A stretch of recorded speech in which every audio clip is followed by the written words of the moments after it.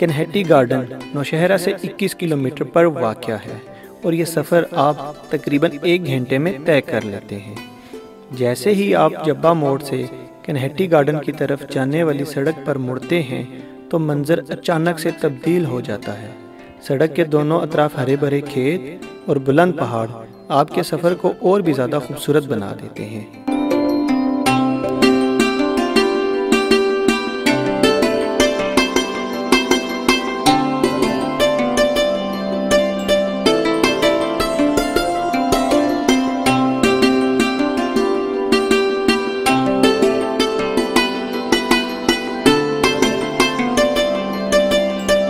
जी इस वक्त मैं मौजूद हूँ खनटी गार्डन में।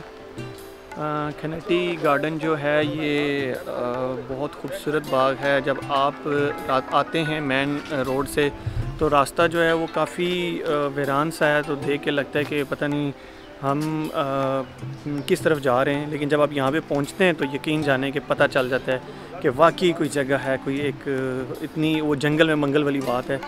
तो मैं इसको आपको विज़िट कराता हूँ सारे का। तो आप देखें और फिर कमेंट्स में बताएँ मुझे कि आपको कैसा लगा। मुझे तो बहुत अच्छा लगा। मेरा क्योंकि दूसरा विज़िट है यहाँ पे।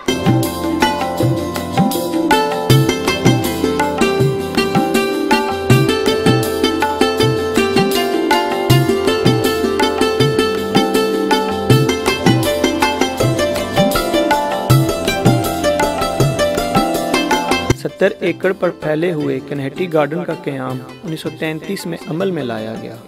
इसमें 12 अकसाम के फल उगाए जाते हैं, जिनमें सैतून, खजूर, बादाम और चेरी सर फहरिस्त हैं।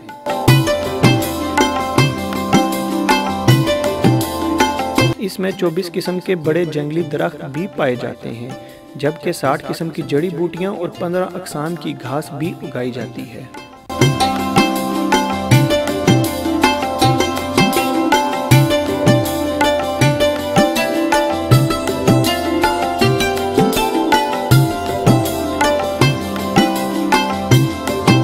अभी जहाँ पे मैं मौजूद हूँ, ये कन्नटी गार्डन का जो सेंटर पॉइंट है, वो है। और यहाँ पे जो ऑरेंज और दीगर जो फ्रूट्स हैं, वो वो होते हैं।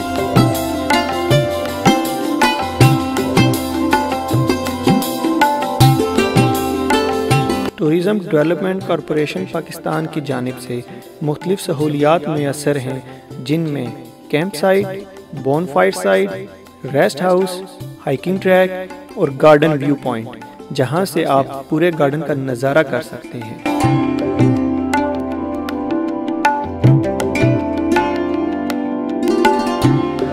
यहाँ पे मैं आपके साथ एक व्यू शेयर करना चाह रहा हूँ इस ब्रिज का। ये जब मैं पहले आया था तो मैंने एक यहाँ पे पिक्चर बनाई थी। आप वो पिक्चर देखें और आज चार साल बाद यहाँ पे वो ब्रिज वैसा का वैसा ही है। वैसे तो काफ़ी डेवलपमेंट हुई है अदरवाइज़ इस, इस ब्रिज का किसी ने कोई ख्याल नहीं रखा।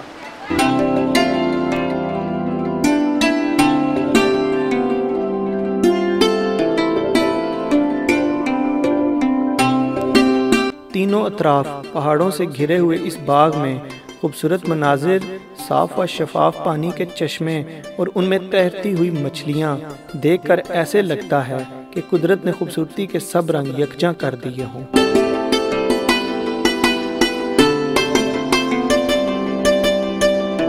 अगर आप भी कुदरती खूबसूरती से लुत्फ अंदोज होना चाहते हैं तो एक बार कन्हेटी गार्डन का विज़िट ज़रूर करें।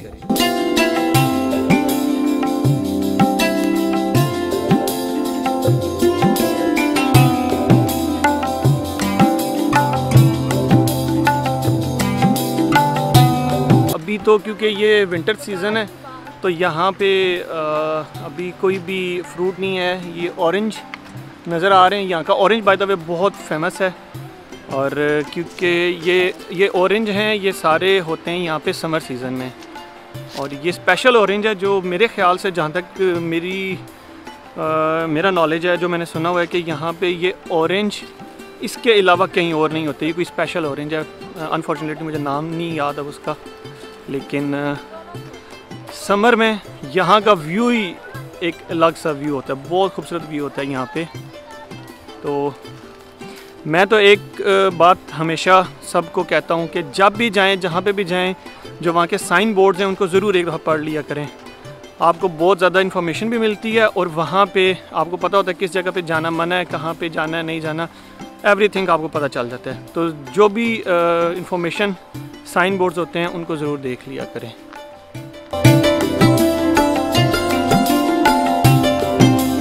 अगर आप इस बाग की मुकम्मल हिस्ट्री जानना चाहते हैं तो मेरी अगली वीडियो ज़रूर देखें।